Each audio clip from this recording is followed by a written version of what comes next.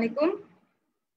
আমি ডক্টর সারাজাবিন খন্দকার প্রভাষক ফিজিওলজি, বর্তমানে নীলফামারী মেডিকেল কলেজে আমি চাকরিরত অবস্থায় আছি।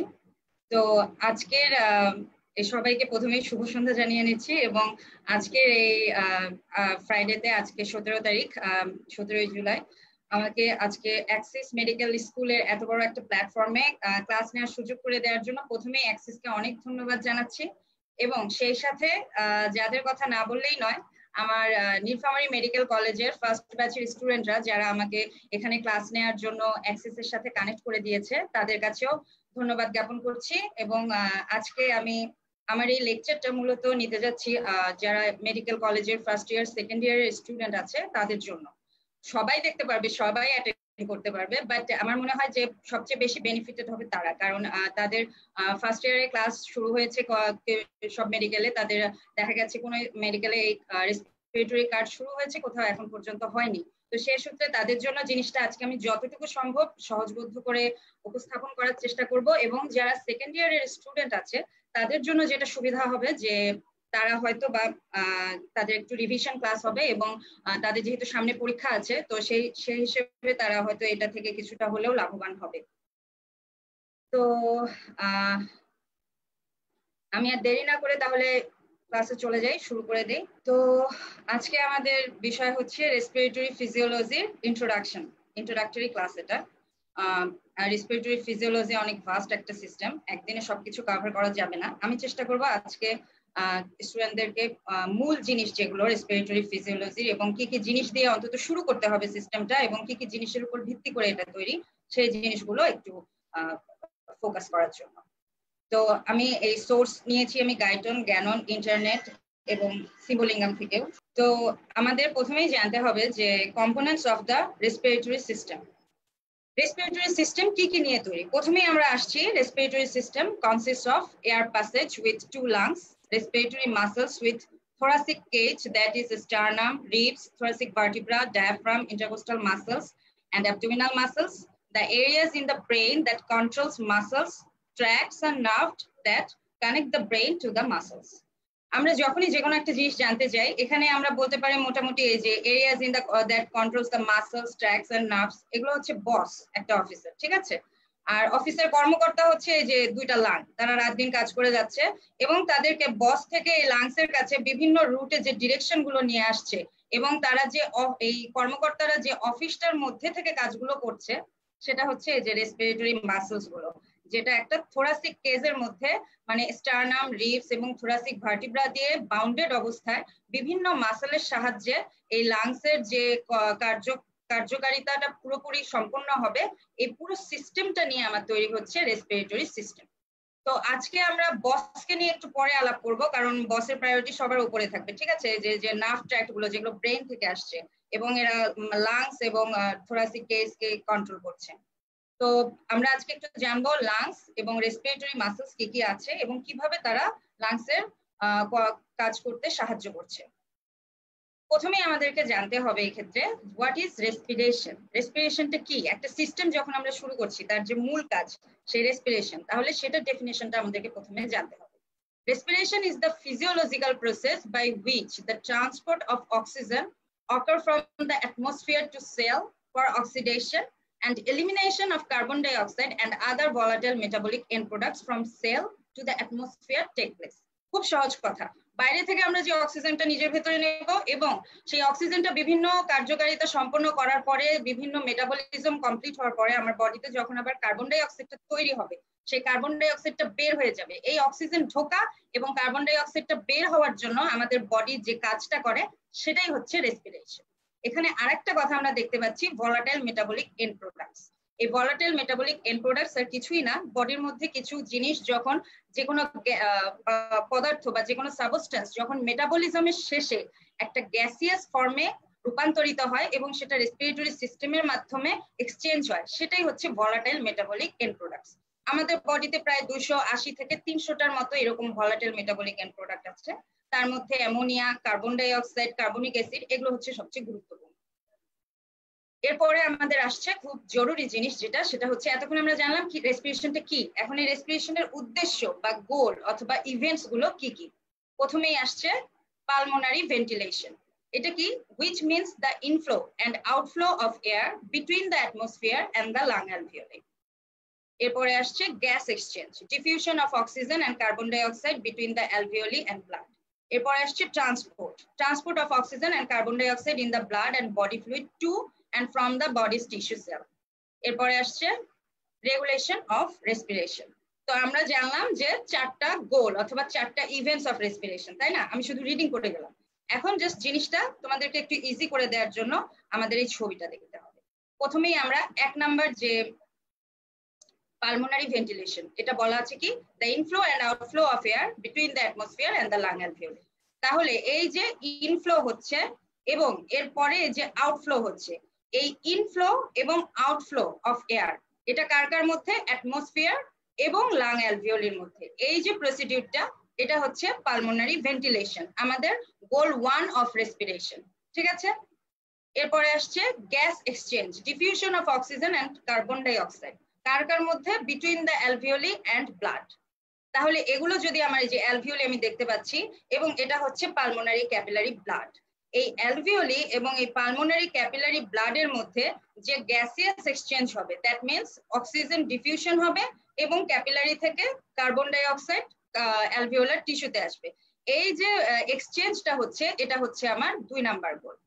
ঠিক আছে? এরপরে আসছে তিন number goal transport and of oxygen and carbon dioxide in the blood and body fluid to and from the body's tissue cells এই জায়গাটা আমাদের একটু বুঝতে হবে। সেটা হচ্ছে এই যে আমি লাংসে অক্সিজেনটা নিলাম এবং কার্বন ডাই অক্সাইড লাংস থেকে বের করে দিচ্ছি। এই যে লাংসে অক্সিজেন আসার পরে টিস্যুতে যাওয়ার আগ পর্যন্ত টিস্যুর টিস্যু কি? অনেকগুলো সেল নিয়ে তৈরি। তো সেই সেলের বাইরে সেলের বাইরের লেভেলে টিস্যুর বাইরে এরকম একটা জায়গায় থাকে হচ্ছে ইন্টারস্টিশিয়াল ফ্লুইড যেটা এক্সট্রা সেলুলার ফ্লুইডের একটা পোর্শন সেই ইন্টারস্টিশিয়াল ফ্লুইড পর্যন্ত যে আমার লাংস থেকে অক্সিজেনটা আসবে এবং কার্বন ডাই অক্সাইডটা সেই বডি ফ্লুইড থেকে আবার লাংসে ফেরত যাবে। এই যে প্রসিডিউরটা এই পর্যন্ত জাস্ট সেলের আগ পর্যন্ত, এই এই প্রসিডিউরটা হলো আমার তিন number goal or event of respiration ঠিক আছে? এরপরে আমরা আসব চার নাম্বার গোলে রেগুলেশন অফ রেসপিরেশন তাহলে এতক্ষণ আমরা বললাম যে, এই লাংস থেকে oxygen and carbon dioxide up to the level of the tissue or up to the level of the interstitial body fluid এতটুকু হচ্ছে আমার তিন নাম্বার গেল। এখন এই যে টিস্যুর ভেতরে যে সেল আছে, আমাদের বডিতে বিভিন্ন ধরনের টিস্যু আছে cardiac tissue muscle tissue skeletal muscle tissue বিভিন্ন স্মুথ মাসল টিস্যু বিভিন্ন ধরনের টিস্যু আছে। এই টিস্যুর মধ্যে যে ইউনিট যে সেলগুলো আছে, সেই সেলগুলোতে যখন যে কোনো একটা মেটাবলিজম হবে বা প্রসিডিউর হবে, সেখানে অক্সিজেনটা ইউটিলাইজ করার পরে কার্বন ডাই অক্সাইডটা তৈরি করার যে প্রসিডিউর সেটা হলো রেগুলেশন অফ রেসপিরেশন তাহলে আমাদের মোটামুটি এই তিনটা যেটা, এই তিনটা গেল আমাদের এক্সটার্নাল রেসপিরেশনে এবং এই চতুর্থটা আসবে আমাদের ইন্টারনাল রেসপিরেশনে পরবর্তী স্লাইডে আমরা যাব এক্সটার্নাল এন্ড ইন্টারনাল রেসপিরেশনটা কি? আমি জাস্ট এতটুকু ক্লিয়ার করে দেওয়ার জন্য বললাম। তাহলে আমার এখানে ঢুকলো, ঢোকার পর অক্সিজেন ঢোকার পরে আমার বডি ফ্লুইড পর্যন্ত গেল। এই পর্যন্ত হচ্ছে আমার ট্রান্সপোর্ট মেকানিজম অ্যান্ড দেন আমার সেলের মধ্যে যে ঘটনাটা ঘটলো, এটা হচ্ছে রেগুলেশন অফ রেসপিরেশন তাহলে এই চারটা গোল অথবা ইভেন্ট পরীক্ষায় অনেক সময় খুবই গুরুত্বপূর্ণ, এটা রিটেনেও আসে ভাইভাতেও জিজ্ঞেস করে স্যার ম্যাডামরা তো এটা আমার এই জিনিসটা সম্পর্কে ক্লিয়ার কনসেপ্ট থাকতে হবে। এটা আমি দেখেছি এই যে পালমোনারি অ্যালভিওলিতে আসলো অক্সিজেন আসার পরে পালমোনারি ক্যাপিলারির মধ্যে অক্সিজেনের যে ডিফিউশন হলো এবং carbon di in exchange of carbon dioxide carbon dioxide আবার পালমোনারি ক্যাপিলারি থেকে আমার অ্যালভিওলাসের মধ্যে আসলো। এই জিনিসটা আমরা যখন হচ্ছে রেসপিরেটরি মেমব্রেন করব, তখন আরও ডিটেলসে জানতে পারব। এরপর আসছে আমাদের ডিউরেশন অফ রেসপিরেশন এতক্ষণ আমরা রেসপিরেশন কি সেটা জানলাম। এখন এটা কতক্ষণ সময় ধরে হয়? পাঁচ সেকেন্ড ওকে তাহলে এই পাঁচ সেকেন্ড সময়টা আমার দুটো ভাগে ভাগ করা। একটা ইন্সপাইরেশন একটা এক্সপাইরেশন ইন্সপাইরেশন কথা থেকে আমরা বুঝতে পারছি এটা কি? It is the active phase of respiration during which air enters into the lungs from the atmosphere it's an active process আমি বলছি কেন অ্যাক্টিভ এবং এক্সপাইরেশন আর ডেফিনেশন থেকে আমরা বুঝতে পারছি যেটা বাইরে যাচ্ছে। ইন মানে ভেতরে আসা আর এক্স মানে বাহিরে যাওয়া। তাহলে এক্সপাইরেশনটা কি? It is the passive phase of respiration during which air comes out from the lungs to the atmosphere এখানে আরেকটা কথা আছে, তোমরা দেখতে পাচ্ছ it is the passive process তাহলে এখানে আমরা দেখতে পারলাম অ্যাক্টিভ প্রসেস এবং এখানে দেখলাম প্যাসিভ প্রসেস এই দুটোর মধ্যে একটু পার্থক্য আছে এবং এটা আমাদেরকে জানতে হবে।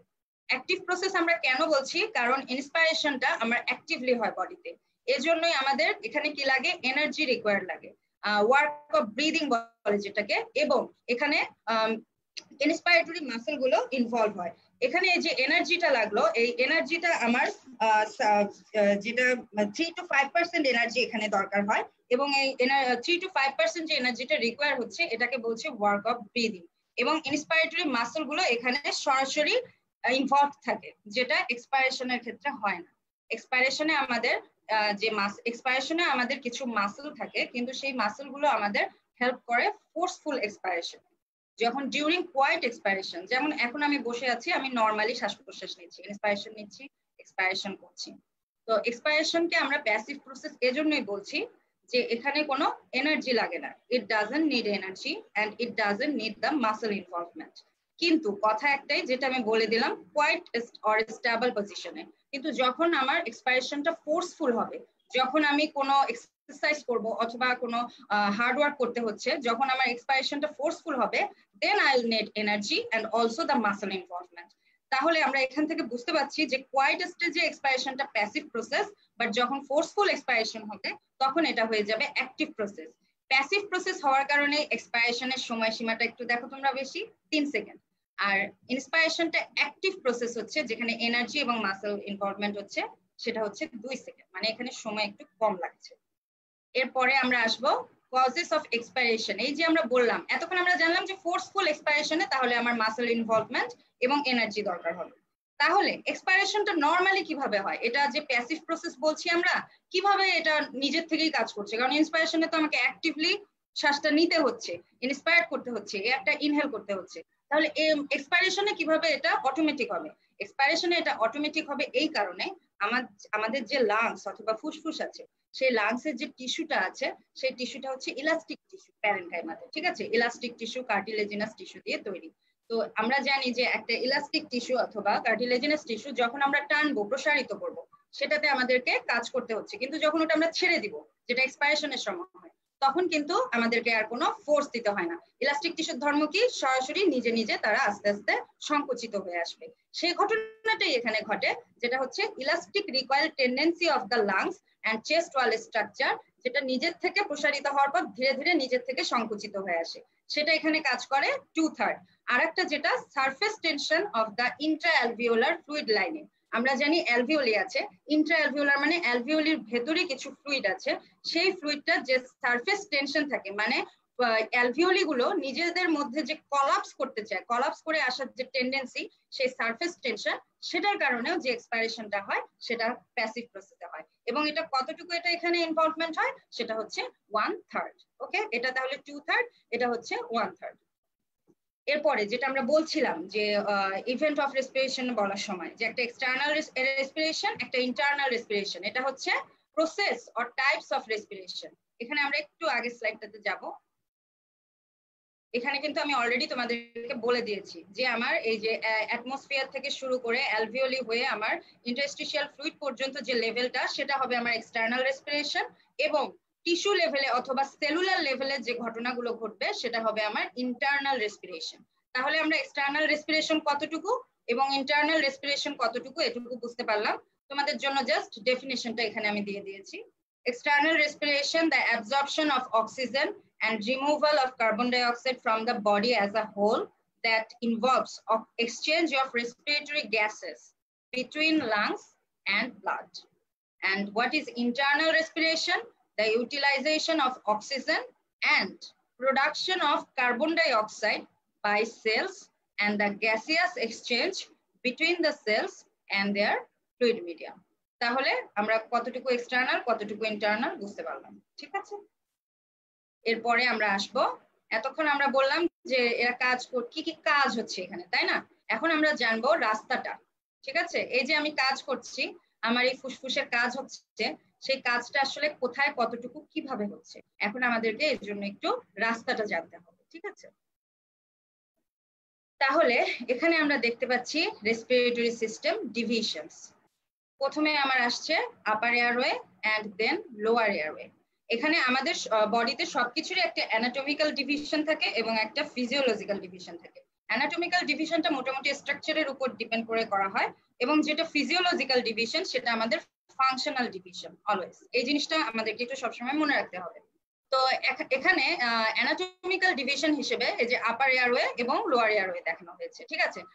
আপার রেসপিরেটরি ট্র্যাক্ট বলি আমরা এবং লোয়ার রেসপিরেটরি ট্র্যাক্ট বলি। এটা অ্যানাটমিক্যাল ডিভিশনে করা হয়, যেটা হচ্ছে এই যে এখানটা আমরা দেখতে পাচ্ছি ল্যারিংস ল্যারিংস এর মধ্যে এখানে থাকে ভোকাল কর্ড এই ভোকাল কর্ডের আপার পোর্শন পর্যন্ত হয় হচ্ছে আমার আপার রেসপিরেটরি ট্র্যাক্ট এবং ভোকাল কর্ডের লোয়ার পোর্শন থেকে শুরু করে একদম এই যে অ্যালভিওলি পর্যন্ত চলে আসে, এটা গেল আমার লোয়ার রেসপিরেটরি ট্র্যাক্ট কিন্তু আমাদেরকে মেইনলি এখানকার জন্য ফিজিওলজির জন্য জানতে হবে ফাংশনাল অর ফিজিওলজিক্যাল ডিভিশন যেটার মধ্যে আছে আপার এয়ারওয়ে এবং লোয়ার এয়ারওয়ে একইভাবে শুধু এখানে লোয়ার এয়ারওয়েকে আবার দুটো ভাগে ভাগ করা হয়েছে, একটা conducting zone or conducting airway আর একটা অ্যালভিওলার এয়ারওয়ে এখন আপার এয়ারওয়ের মধ্যে আমার থাকছে এই যে নোজ তারপরে ফ্যারিংস ফ্যারিংস এর পরে এখানে আছে ল্যারিংস এবং অ্যাসোসিয়েটেড এই স্ট্রাকচারগুলো নেজাল সাইনাস ফ্রন্টাল সাইনাস এসব থাকবে। এটা যাচ্ছে আমার আপার এয়ারওয়ের মধ্যে, ঠিক আছে? আর লোয়ার এয়ারওয়েতে যেটা, সেটার মধ্যে আমার একটা আমাদের জন্য ইম্পর্টেন্ট হচ্ছে মেনলি এই অংশটা লোয়ার এয়ারওয়ের মধ্যে। সেটা হচ্ছে একটা কন্ডাক্টিং জোন একটা অ্যালভিওলার জোন পরীক্ষার জন্য খুবই গুরুত্বপূর্ণ যে তুমি লোয়ার এয়ারওয়েকে কীভাবে ডিভাইড করবে এবং কন্ডাক্টিং জোনের ফাংশন কি রেসপিরেটরি জোনের ফাংশন কি, এবং কন্ডাক্টিং জোন কতটুকু হচ্ছে রেসপিরেটরি জোন কতটুকু হচ্ছে। তাহলে এখন আমাদের জানতে হবে, এই কন্ডাক্টিং এয়ারওয়ের মধ্যে কি কি আছে। তাহলে কন্ডাক্টিং এয়ারওয়েতে যদি আমরা যাই, তাহলে আমরা দেখতে পাচ্ছি এটা শুরু হবে ট্রাকিয়া থেকে। এখানে এই যে ট্রাকিয়া কার্টিলেজিনাস রিংগুলো দেখা যাচ্ছে। ট্রাকিয়া থেকে শুরু হবে ট্রাকিয়া থেকে শুরু হওয়ার পরে ব্রঙ্কাই একটা যাবে হচ্ছে রাইট ব্রঙ্কাই লেফট ব্রঙ্কাই ঠিক আছে? রাইট ব্রঙ্কাই লেফট ব্রঙ্কাই যাওয়ার পরে এগুলো আবার ব্রঙ্কিওলে ডিভাইড হবে। ট্রাকিয়া থেকে ব্রঙ্কাই ব্রঙ্কাই থেকে এই যে ব্রঙ্কিওলে ডিভাইড হচ্ছে। এই ব্রঙ্কিওলে ডিভাইড হওয়ার পরে আপ টু টার্মিনাল ব্রঙ্কিওল এই পর্যন্ত হবে আমার কন্ডাক্টিং জোন তাহলে এখন আমরা একটু এই ছবিটা দেখব। এই ছবিটাতে আমরা দেখতে পাচ্ছি এই যে ট্রাকিয়া এখানে শুরু হয়েছে। ট্রাকিয়ার পরে ব্রঙ্কাই ব্রঙ্কাই থেকে ব্রঙ্কিওলস ডিভিশন হচ্ছে। এরপরে আসছে এই যে টার্মিনাল ব্রঙ্কিওল ঠিক আছে? এই টার্মিনাল ব্রঙ্কিওল এই যে ডিভাইড হলো, এই এখান পর্যন্ত, এই টার্মিনাল ব্রঙ্কিওল পর্যন্ত হলো আমার কন্ডাক্টিং জোন খুব, খুবই গুরুত্বপূর্ণ। এবং এরপরে আমার রেসপিরেটরি ব্রঙ্কিওল শুরু হচ্ছে। এই রেসপিরেটরি ব্রঙ্কিওল থেকে শুরু করে একদম অ্যালভিওলি পর্যন্ত এটা হচ্ছে আমার রেসপিরেটরি জোন অথবা অ্যালভিওলার এয়ারওয়ে অথবা রেসপিরেটরি ইউনিট যে নামেই ডাকি আমরা একে। আমাদের যে গ্যাসিয়াস এক্সচেঞ্জ অক্সিজেন এবং কার্বন ডাই অক্সাইডের যে গ্যাস গ্যাস এক্সচেঞ্জ অথবা ডিফিউশন হয়, সেটা হয় এই জোনে কন্ডাক্টিং জোনে আমাদের কোনো গ্যাসিয়াস এক্সচেঞ্জ হয় না। এটা খুবই গুরুত্বপূর্ণ একটা জিনিস এবং এটা মনে রাখতে হবে। কন্ডাক্টিং জোনে কোনো রেসপিরেট কোনো গ্যাসিয়াস এক্সচেঞ্জ হচ্ছে না এবং এই যে কন্ডাক্টিং নামটা দেওয়া আছে, এটা কি জন্য? কন্ডাক্ট করে নিয়ে যায়। আপার এয়ারওয়ে থেকে লোয়ার এয়ারওয়েতে জিনিস মানে গ্যাস নিয়ে অক্সিজেনটা নিয়ে আসে এবং এই যে লোয়ার এয়ারওয়ে থেকে আবার হচ্ছে আপার এয়ারওয়েতে সে কার্বন ডাই অক্সাইডটা নিয়ে যায়। এর কাজ এতটুকু, এই কন্ডাক্টিং জোন এই জন্যই বলা হয়েছে। আর রেসপিরেটরি জোনে আমাদের মূলত গ্যাসিয়াস এক্সচেঞ্জটা হয়। একদম নোজ থেকে শুরু করে আমাদের লোয়ার রেসপিরেটরি ট্র্যাক্ট যেটা আছে, এটাকে টোটাল টোয়েন্টি থ্রি ডিভিশনে ভাগ করা হয়েছে। আপার সিক্সটিন ডিভিশন পর্যন্ত হলো আমাদের কন্ডাক্টিং জোন এবং নিচের সেভেন ডিভিশন হলো আমাদের রেসপিরেটরি জোন তাহলে আমাদের মোটামুটি বোঝা গেল কতটুকু কন্ডাক্টিং জোন হবে এবং কতটুকু রেসপিরেটরি জোন হবে। তাহলে আমাদের এই যে রেসপিরেটরি জোন অথবা অ্যালভিওলার এয়ারওয়ের মধ্যে আছে respiratory bronchiole alveolar ducts alveolar sacs alveoli ঠিক আছে? আমরা একটু এই ছবিটা দেখি, তাহলেই বুঝতে পারব। এটা গাইটন থেকে নেয়া।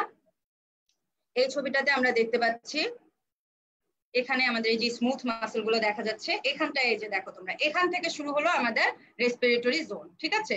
এই রেসপিরেটরি জোনে রেসপিরেটরি ব্রঙ্কিওল রেসপিরেটরি ব্রঙ্কিওল থেকে তারপরে এখানে আমার, এগুলো এখানে অ্যাট্রিয়াল অ্যালভিওলার অ্যাট্রিয়াম আসবে। অ্যাট্রিয়ামের পর এখান থেকে আমার অ্যালভিওলার ডাক্ট শুরু হবে এবং এই অ্যালভিওলার ডাক্টের মধ্যে এই যে থোকা থোকা হয়ে আছে, এটা হচ্ছে অ্যালভিওলার স্যাক এবং এই এক একটা হলো অ্যালভিওলি ঠিক আছে? এই পুরোটা মিল এখান থেকে রেসপিরেটরি ব্রঙ্কিওল থেকে শুরু করে আপ টু অ্যালভিওলাস এটা হচ্ছে আমার রেসপিরেটরি জোন অথবা রেসপিরেটরি ব্রঙ্কিওল ঠিক আছে? আচ্ছা। এরপরে আমরা আসব ফাংশনস অফ রেসপিরেশন তাহলে আমাদের এতক্ষণ আমরা জানলাম কন্ডাক্টিং এয়ারওয়ে কতটুকু রেসপিরেটরি এয়ারওয়ে কতটুকু কন্ডাক্টিং এয়ারওয়েতে কি কাজ হচ্ছে এবং রেসপিরেটরি এয়ারওয়েতে কি কাজ হচ্ছে। এরপরে আমাদের আসছে function of respiration function of respiration অথবা ফাংশন অফ রেসপিরেটরি সিস্টেম এর দুই ধরনের কাজ আছে, একটা নন রেসপিরেটরি এবং একটা রেসপিরেটরি এখন নন রেসপিরেটরি যেটা, সেটার মধ্যে অনেক ধরনের ফাংশন আছে, যেমন olfaction vocalization prevention of dust particle defense mechanism, maintenance of water balance, regulation of body temperature, regulation of acid-base balance, anticoagulant function, secretion of ACE and maintain blood pressure, synthesis of hormonal substances such as prostaglandins, serotonin, acetylcholine, and control blood pressure. এই সবগুলো ফাংশনই নন respiratory function এগুলো সব তোমরা বুঝতেই পারছ অলফ্যাকশন গন্ধ নেওয়ার জন্য হেল্প করবে এবং কি ধরনের স্মেল যাবে, কি, কীরকম ইয়ে হবে, সেটা আমরা ন্যাজাল সিস্টেমের মাধ্যমে বুঝব। ভোকালাইজেশন আমাদের যে কথাটা আমরা বলি, সেটা উচ্চ স্বরে হবে নাকি নিচু স্বরে? কীরকম হাই পিচ হচ্ছে না লো পিচ সেটা নির্ভর করবে এই যে ভোকালাইজেশন এই প্রসিডিউরটার উপরে। এগুলো সবগুলোই তোমরা পড়লে এখান থেকে বুঝতে পারবে। আমি জাস্ট এই প্রিভেনশন অফ ডাস্ট পার্টিকেলটা সম্পর্কে একটু বলি। সেটা হচ্ছে যে ডাস্ট পার্টিকেল যেগুলো আছে, আমাদের এয়ার থেকে আমাদের ফুসফুস পর্যন্ত যাচ্ছে। তো যাওয়ার সময় বিভিন্ন স্তরে এই ডাস্ট পার্টিকেলগুলো সাবসাইড হয়। এগুলো কিন্তু সবগুলো অ্যালভিওলি পর্যন্ত যেতে পারে না। তার মধ্যে যেগুলোর পরিমাণ পঁচিশ মাইক্রোমিটারের উপরে, সেগুলো অলরেডি আমাদের নাকের সিলিয়া যেগুলো ন্যাজাল সিলিয়া আছে সেই সব সিলিয়েটেড এরিয়াতে এরা ট্র্যাপড হয়। এবং আমাদের একদম শেষ পর্যন্ত, ফুসফুস পর্যন্ত যেতে পারে একদম পয়েন্ট থ্রি থেকে পয়েন্ট ফাইভ মাইক্রোমিটার এই রেঞ্জের ডাস্ট পার্টিকেলগুলো। অনেক ছোট point three to point five micro millimeter sorry point three to point five micrometer dust particle কিন্তু চোখে দেখাও খুব টাফ মানে অনেক ছোট। তো এগুলো যখন আমাদের ফুসফুসে অথবা অ্যালভিওলিতে গিয়ে আমাদের যখন সাবসাইড হবে সাবসাইড হওয়ার পরে এগুলোর মধ্যে মাত্র চল্লিশ থেকে পঞ্চাশ পার্সেন্টই আমাদের শেষ পর্যন্ত অ্যালভিওলিতে স্টাবলাইজ হয়। বাকি যেগুলো থাকে সেগুলো আমাদের আবার সেই এক্সচেঞ্জ প্রসিডিউর যে আমাদের সবসময় রেসপিরেশন হচ্ছে, তার মাধ্যমেই বাইরে চলে আসে। তার মানে আমাদের লাং সিস্টেম বা রেসপিরেটরি সিস্টেম এত সুন্দর করে তৈরি করে দেয়া, সৃষ্টিকর্তা এত সুন্দরভাবে তৈরি করে দিয়েছেন যে বাইরের এইসব ধুলো তার মধ্যে খুব কম অংশই আমাদের এই অ্যালভিওলিতে গিয়ে অলরেডি ওখানে সাবসাইড হয়ে থেকে যেতে পারে। আমি বললাম অনলি পয়েন্ট থ্রি থেকে পয়েন্ট ফাইভ মাইক্রোমিটার এই পোর্শনের এবং তার মধ্যেও শুধু চল্লিশ থেকে পঞ্চাশ পার্সেন্ট পার্টিকেল বাকি ফিফটি পার্সেন্ট কিন্তু ওয়াশ আউট হয়ে যায় ঠিক আছে? তো এই ডিফেন্স মেকানিজমটা প্রিভেনশন অফ ডাস্ট পার্টিকেলটা আমি এই জন্যই বললাম। পরীক্ষায় অনেক সময় এটা একটু গুরুত্বপূর্ণ এবং স্যার ম্যাডামরা শুনতে চান যে ডাস্ট পার্টিকেলের প্রিভেনশন বলছো কীভাবে, কোথায়, কতটুকু ফিল্ট্রেশন হচ্ছে। তো এই জিনিসটা তোমরা একটু জানতে হবে তোমাদের। ঠিক আছে? এরপরে আমার আসছে রেসপিরেটরি ফাংশন রেসপিরেটরি ফাংশনের মধ্যে আমরা দেখতে পাচ্ছি gas transfer regulation of partial pressure of carbon dioxide in blood regulation of pH of blood excretion of certain volatile gas such as chloroform, ether, ammonia, methane, pumping action. Pumping action মানে আমাদের যে gas আমাদের respiration হচ্ছে প্রতি মুহূর্তে যে breathing mechanism চলছে সেই পাম্পিং অ্যাকশন এবং গ্যাস ট্রান্সফার হচ্ছে যে অক্সিজেন এবং কার্বন ডাই অক্সাইডটা আমাদের বডিতে এক্সচেঞ্জ হচ্ছে সেই ফুসফুসে ঢোকার পর থেকে শুরু করে একদম আমার ব্লাড পর্যন্ত নিয়ে যাওয়ার বিভিন্ন বিভিন্ন ফর্মে অক্সিজেনের বিভিন্ন ফর্ম হবে কার্বন ডাই অক্সাইডের বিভিন্ন ফর্ম হবে এবং এইসব ফর্মে ব্লাড ব্লাডে এরা সার্কুলেট হবে। আমরা ধীরে ধীরে এগুলো সব জানতে পারব। তো সেই যে ফর্মগুলোতে যাচ্ছে এবং বিভিন্ন ফর্মে আবার কার্বন ডাই অক্সাইড আমার ফুসফুস পর্যন্ত ফিরে আসছে, এই যে প্রসিডিউরটা এগুলো সব রেসপিরেটরি ফাংশনের অন্তর্ভুক্ত, ঠিক আছে? এবং এই যে আমাদের pH regulation of pH of blood এটা কিন্তু খুবই গুরুত্বপূর্ণ আমাদের সার্ভাইভালের জন্য এবং এটা রেসপিরেটরি মেকানিজমের মাধ্যমে কন্ট্রোল হয়। বডির পিএইচ অথবা অ্যাসিড বেস ব্যালেন্স মেনটেন হয় দুটো সিস্টেমের মাধ্যমে। একটা হচ্ছে মেটাবলিক আর আমাদের রেনাল সিস্টেমের মাধ্যমে, আর একটা হচ্ছে রেসপিরেটরি সিস্টেমের মাধ্যমে। তো রেসপিরেটরি সিস্টেমের মাধ্যমে অ্যাসিড বেস ব্যালেন্স কীভাবে মেনটেন হয়, এটা আমরা পরবর্তীতে আমাদের লেকচারে আবার জানতে পারব। ঠিক আছে? তো এখন আমি আসছি। অলরেডি তোমাদের আমি কন্ডাক্টিং জোন বলে ফেলেছি। যে কোথা থেকে শুরু করে একদম কোন পর্যন্ত, এই এখানে দেখতে পাচ্ছ carina left primary bronchus right primary bronchus এখানে একদম টার্মিনাল ব্রঙ্কিউল পর্যন্ত আমার হবে conducting zone all the structures air passes through before reaching the respiratory zone respiratory zone অথবা রেসপিরেটরি এপিথেলিয়ামে পৌঁছানোর আগে যে কন্ডাক্টিং জোনে এয়ারটা সার্কুলেট হয়, সেটাই কন্ডাক্টিং জোনের ফাংশন ঠিক আছে? এখানে যে আমরা ফাংশনটা দেখতে পাচ্ছি to bring air into and out of the respiratory zone for gas exchange, warms and humidifies inspired air, then filters and cleans inspired air to remove dust particle. ঠিক আছে তাহলে আমরা জানতে পারলাম যে কন্ডাক্টিং জোনের ফাংশন আর কিছুই না, যে এয়ারটা বা যে গ্যাসটা আমাদের বাইরে থেকে ভেতরে আমাদের রেসপিরেটরি সিস্টেমে ঢুকছে, সেই এয়ারটাকে এরা ওয়ার্ম এবং হিউমিডিফাই করবে। একটা নির্দিষ্ট টেম্পারেচার মেনটেন করবে এবং হিউমিডিফিকেশন হবে সেই এয়ারে যে এয়ারটা আমরা র এয়ারটা বাইরে থেকে ইনহেল করি, সেটা কিন্তু আমাদের ফুসফুস পর্যন্ত ডিরেক্টলি ওই ফর্মে যায় না। কন্ডাক্টিং জোনে এটা হিউমিডিফাইড এবং এর টেম্পারেচার অল্টার হওয়ার মাধ্যমে আমাদের রেসপিরেটরি জোনে এই এয়ারটা পৌঁছায়। ঠিক আছে? তো তারপরে আছে filter and cleans inspired air যে এয়ারটা আমরা নিচ্ছি, আমি বললাম যে কন্ডাক্টিং জোনের অনেকগুলো পোর্শন আছে, সেই পোর্শন গুলোতে এই যে ইন্সপায়ার্ড এয়ারটা আমরা নিচ্ছি, বিভিন্ন লেভেলে এটা যে ডাস্ট পার্টিকুল মিক্সড এয়ারটা থাকবে, সেখান থেকে বিভিন্ন সাবস্টেন্স বিভিন্ন ডাস্ট এগুলো আমাদের রেসপিরেটরি সিস্টেমের বিভিন্ন জায়গায় ট্র্যাপড হবে এবং ট্র্যাপড হয়ে এটা যখন আমরা আবার এক্সচেঞ্জ মানে এক্সেল করব, গ্যাসটা বের করে দিব, সেই এক্সেল এয়ারের সাথে এই ডাস্ট পার্টিকেলগুলো আবার বের হয়ে যাবে। ঠিক আছে? এরপরে আমরা আসব respiratory zone respiratory zone already আমরা দেখিয়েছি কোন পর্যন্ত রেসপিরেটরি ব্রঙ্কিওল থেকে শুরু করে একদম এই যে, এগুলো অ্যালভিওলাস স্যাক ঠিক আছে? এই যে এক একটা অ্যালভিওলি দেখা যাচ্ছে, এগুলো এক একটা অ্যালভিওলি এই অ্যালভিওলাস পর্যন্ত টোটালটা আমার হবে রেসপিরেটরি জোন অথবা রেসপিরেটরি ব্রঙ্কিওল এর ফাংশনটা আমরা অলরেডি জানছি।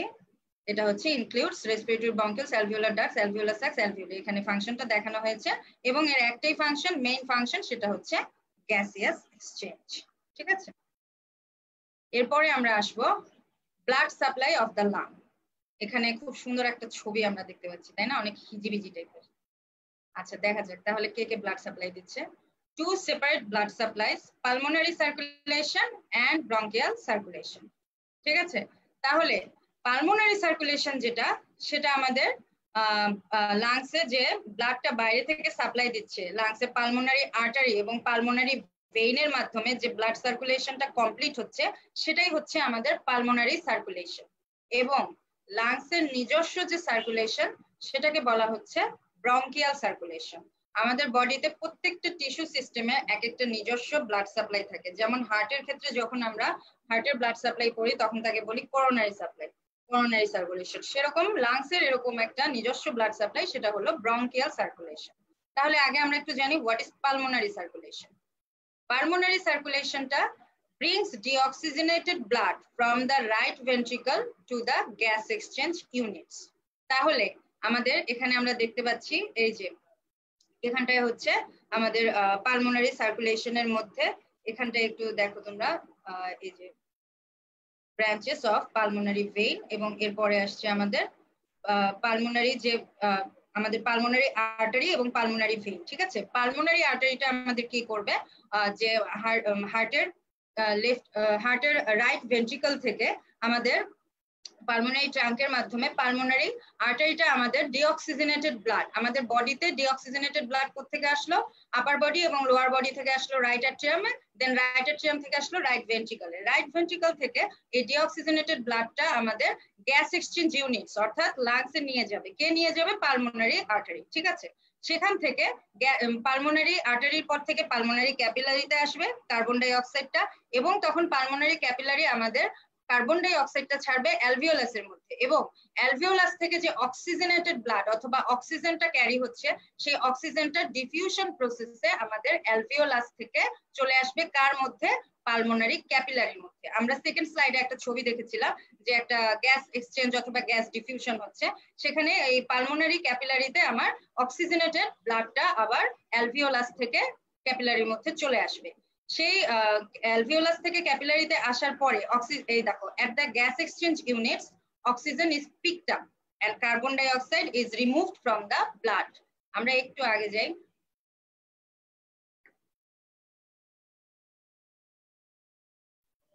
এই যে এখানটায়। এখানটায় আমাদের যখন অ্যালভিওলাসের মধ্যে অক্সিজেনটা আসলো, এখানে এই পর্যন্ত আমার পালমোনারি আর্টারি আসছে। পালমোনারি আর্টারি আসার পর পালমোনারি ক্যাপিলারিতে ডিভাইড হয়েছে। ঠিক আছে? এই পালমোনারি ক্যাপিলারি থেকে আমার ডিফিউশন প্রসেসে কার্বন ডাই অক্সাইডটা নিয়ে নিচ্ছে অ্যালভিওলাস এবং এই অ্যালভিওলাস অক্সিজেনটা নেয়ার পরে সেটা আবার পালমোনারি ক্যাপিলারির মধ্যে দিয়ে দিচ্ছে। এটা কোন প্রসিডিউরের মধ্যে হচ্ছে? এটা কিন্তু পালমোনারি ভেন্টিলেশনের মধ্যে হচ্ছে। ঠিক আছে? তাহলে সে কথাটাই এখানে বলা আছে।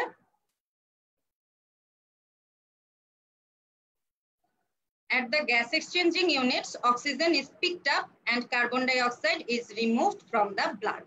ঠিক আছে? তারপরে এই যে অক্সিজেনেটেড ব্লাডটা যেটা আমার পালমোনারি ক্যাপিলারির মধ্যে আসলো, সেটা আবার কোথায় যাবে?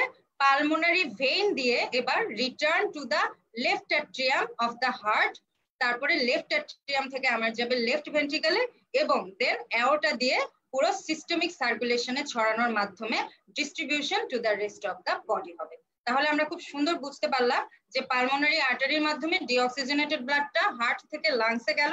সেখানে গ্যাস এক্সচেঞ্জ এরিয়াতে সেই ব্লাডটা অথবা কার্বন ডাই অক্সাইডটা অ্যালভিওলির মধ্যে গেল এবং অ্যালভিওলি থেকে অক্সিজেনেটেড ব্লাড আবার পালমোনারি ভেইনের মাধ্যমে হার্টের মধ্যে আসলো এবং হার্টের লেফট অ্যাট্রিয়াম থেকে লেফট ভেন্ট্রিকালে যাবে, তারপরে লেফট ভেন্ট্রিকাল থেকে অ্যাওটার মাধ্যমে পুরো বডিতে সিস্টেমিক সার্কুলেশনে সেই অক্সিজেনেটেড ব্লাডটা ডিস্ট্রিবিউট হবে। ঠিক আছে? এটাই হচ্ছে আমার পালমোনারি সার্কুলেশন এরপরে আমরা আসব ব্রঙ্কিয়াল সার্কুলেশন এটা arises from the aorta and provides nourishment to the lung parenchyma. যেটা আমি একটু আগেই বলেছি যে লাংস এর নিজস্ব যে সার্কুলেশন লাংস এর প্যারেনকাইমাটাস যে সার্কুলেশন সেটা আমার হবে হচ্ছে ব্রঙ্কিয়াল সার্কুলেশনের মাধ্যমে। দেখো, এখানে দেখা যাচ্ছে ব্রঙ্কিয়াল আর্টারি ভেইন এই ব্রঙ্কিয়াল আর্টারি ভেইন এই সার্কুলেশনের মাধ্যমে লাংসের যে প্যারেনকাইমা আছে, তার মধ্যে যে নারিশমেন্ট এবং ব্লাড সাপ্লাই হবে, সেটা হবে আমার ব্রঙ্কিয়াল সার্কুলেশনের মাধ্যমে। ঠিক আছে? এরপরে আমরা আসব মাসলস অফ রেসপিরেশন এখন আমাদের কে কে কাজ করছে বা কোন ঘরটার মধ্যে আমার লাংসকে আমি রেখে দিয়েছি, কারা কারা ধরে আছে আমার লাংসকে সেই জিনিসগুলো আমরা এখন একটু জানব। তাহলে মাসেলস অফ রেসপিরেশনের মধ্যে আমাদের অবশ্যই আমরা দুটো ফেস পড়েছি, একটা ইন্সপাইরেশন একটা এক্সপাইরেশন তাহলে ইন্সপাইরেশনের কিছু মাসেল থাকবে এবং এক্সপাইরেশনের কিছু মাসেল থাকবে। ইন্সপাইরেশনের মাসলগুলো আমরা এখন একটু দেখব।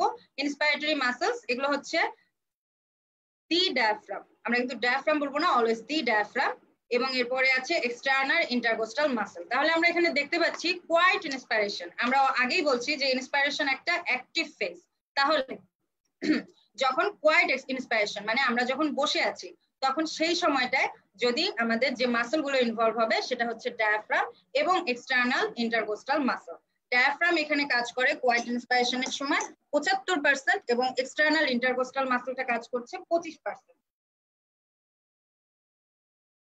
সরি এবং ফোর্সফুল ইন্সপাইরেশনের সময় যে কাজটা হচ্ছে, সেটা হচ্ছে আমাদের এখানে অ্যাক্সেসরি কিছু মাসল লাগছে। এই মাসল গুলোকে বলা হয় অ্যাক্সেসরি মাসল একটা হচ্ছে sternocleidomastoid muscle serratus anterior and scaleni তাহলে আমরা এখন এই ছবিটা যদি একটু দেখি, এটা হচ্ছে আমার ইন্সপাইরেশনের প্রসিডিউর এখানে আমার এই যে এখানে হচ্ছে এক্সটার্নাল ইন্টারকোস্টাল মাসলগুলো আমরা দেখতে পাচ্ছি। ঠিক আছে? এটা এক্সটার্নাল ইন্টারকোস্টাল মাসল এটা হচ্ছে ডায়াফ্রাম এই যে ডায়াফ্রামটা আছে, এটা করছে পঁচাত্তর পার্সেন্ট এবং এক্সটার্নাল ইন্টারকোস্টাল মাসল করতেছে পঁচিশ পার্সেন্ট অফ ইন্সপাইরেশন ইন্সপাইরেশনের কাজ, কার মধ্যে কতটুকু ডিস্ট্রিবিউট আছে। তো এক্সটার্নাল ইন্টারকোস্টাল মাসল যেগুলো আছে, সেই মাসলগুলো আমাদের যখন আমরা শ্বাস নেই, তখন কিন্তু আমাদের থোরাসিক ক্যাভিটি অথবা রিপ কেসটা প্রসারিত হয়, সেটা ভার্টিক্যালি হয় এবং অ্যান্টেরো পোস্টেরিয়রলি হয়। তো যখন আমাদের এই যে আমরা যখন ইন্সপাইরেশন নিব। নেয়ার সময় এই যে ডায়াফ্রাম যেটা আছে, এটা কন্ট্রাক্ট করবে, ঠিক আছে? ডায়াফ্রামটা যখন কন্ট্রাক্ট করল, তখন এর যে ভার্টিক্যাল ডায়ামিটার আমাদের এখানটায় আমরা যে এটা দেখতে পাচ্ছি, আমাদের থোরাসিক ক্যাভিটি যেটা দেখতে পাচ্ছি, এর যে ভার্টিক্যাল ডায়ামিটার অথবা সুপেরিয়র ইনফেরিয়র ডায়ামিটার এই ডায়ামিটারটা ইনক্রিজ হবে। থোরাসিক ক্যাভিটি এক্সপ্যান্ড করবে। এবং একই সাথে এই যে এক্সটার্নাল ইন্টারকোস্টাল মাসেল আছে, এই এক্সটার্নাল ইন্টারকোস্টাল মাসেলগুলো এইভাবে একটা রিপ থেকে আরেকটা রিপের দিকে, নিচের দিকে নিচের দিকে অ্যাটাচমেন্ট থাকে, ঠিক আছে? তো যখন এগুলো কন্ট্রাক্ট করবে, তখন এগুলো করবে কি? এই যে নিচের যে রিপসগুলো আছে, এগুলোকে টেনে ধরবে অথবা এলিভেট করবে। তার ফলে হবে কি? আমাদের সামনে যে স্টারনামটা আছে, এটা এলিভেট হবে। এলিভেট হওয়ার পরে আমার, এখানে একটা ছবি একটু তোমাদের দেখাই। এই যে আমি যখন আমার এক্সটার্নাল ইন্টারকোস্টাল মাসেলটা আমার নিচের দিকে যে রিপসগুলো আছে, এগুলোকে টেনে ধরবে অথবা পুশ আপ করবে, তখন আমাদের এই যে স্টারনাম যেটা আছে, এটা সামনের দিকে এগিয়ে যাবে, ঠিক আছে? তাহলে আমাদের ডায়াফ্রামটা কন্ট্যাক্ট হওয়ার মাধ্যমে ডায়াফ্রাম কন্ট্যাক্ট হওয়ার মাধ্যমে আমার যে ভার্টিক্যাল ডায়ামিটার আছে থোরাসিক ক্যাভিটি সেটা ইনক্রিজ করছে এবং এক্সটার্নাল ইন্টারকোস্টাল মাসেল কন্ট্যাক্ট করার ফলে আমার anteroposterior diameter of the thoracic cavity increase হচ্ছে। আলটিমেটলি কি হচ্ছে? আমার লাংস এক্সপ্যানশন হচ্ছে এবং আমি অক্সিজেন নিচ্ছি। আমার ইন্সপাইরেশন ঘটছে। ঠিক আছে?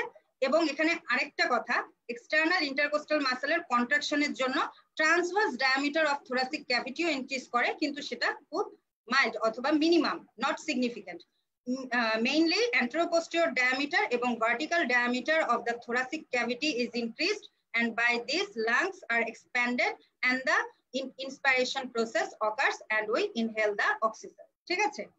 এখন এটা জানলাম আমরা ইন্সপায়ারেশনের কথা। আর আরেকটা জিনিস আমরা দেখেছি এখানে যে ফোর্সফুল ইন্সপায়ারেশনের সময় কে কে কাজ করছে? স্ট্রানোক্লিউডোমাস্টার স্যারাটাস অ্যান্টেরিয়র স্ক্যালেনি এগুলো সবগুলোকে আমরা বলেছি অ্যাক্সেসরি মাসল এখানে যে দেখা যাচ্ছে স্ট্রানোক্লিউডোমাস্টয়েড স্ক্যালিনি মাসল ঠিক আছে? এগুলো হচ্ছে আমাদের অ্যাক্সেসরি মাসল যখন আমরা অনেক সিভিয়ার এক্সারসাইজ করছি বা কোনো খেলাধুলা করছি অথবা কোনো ফোর্সফুল কাজ করতে হচ্ছে, তখন আমাদের যে মাসলগুলো অ্যাক্টিভ অবস্থায় থেকে অ্যাক্সেসরি ভাবে কাজ করবে অথবা অ্যাডিশনালি কাজ করবে, সেই মাসল গুলোকে বলা হচ্ছে অ্যাক্সেসরি মাসল এবং এগুলো আমাদের এই ইন্সপায়ারেটরি মাসল গুলোকে অ্যাসিস্ট করবে, ঠিক আছে? এখন আরেকটা কথা, সেটা হচ্ছে আমাদের এই যে ডায়াফ্রামটা এই ডায়াফ্রাম সাপ্লাই হয় হচ্ছে ফ্রেনিক নার্ভের মাধ্যমে। ফ্রেনিক নার্ভটা আসে cervical three to cervical five এই রুট ভ্যালু থেকে। তো যদি আমাদের এই ডায়াফ্রামের যে ফ্রেনিক নার্ভের সাপ্লাই আছে, সেটাকে যদি আমরা কেটে দেই, তারপরেও কিন্তু আমাদের রেসপিরেশন হবে। কে করবে সেই রেসপিরেশনটা এক্সটার্নাল ইন্টারকোস্টাল মাসল বাট সেই রেসপিরেশনটা আমরা এখন যেরকম কোয়াইট ইন্সপিরেশন নিচ্ছি, এরকম হবে না। এটা একটু লেবার্ড রেসপিরেশন হবে। মানে জোরে জোরে শ্বাস প্রশ্বাস নিতে হবে। ঠিক আছে? আচ্ছা আর এরপরে হচ্ছে আমাদের আসছে এক্সপায়ারেটরি মাসেল আমরা এর আগে কি জেনেছি যে এক্সপায়ারেশন একটা প্যাসিভ প্রসেস তাহলে নর্মাল অথবা কোয়াইট এক্সপায়ারেশনে আমাদের মাসেল ইনভলভমেন্ট হচ্ছে না এবং সেক্ষেত্রে আমাদের মাসেলের অ্যাক্টিভিটি লাগছে না। কিন্তু যখন আমার ফোর্সফুল কাজ হবে, কোনো এক্সারসাইজ হবে অথবা হেভি লোডের কাজ হবে, তখন আমাদের এক্সপায়ারেটরি মাসেল ইনভলভমেন্ট হতে হবে এবং এটা কে কে হবে?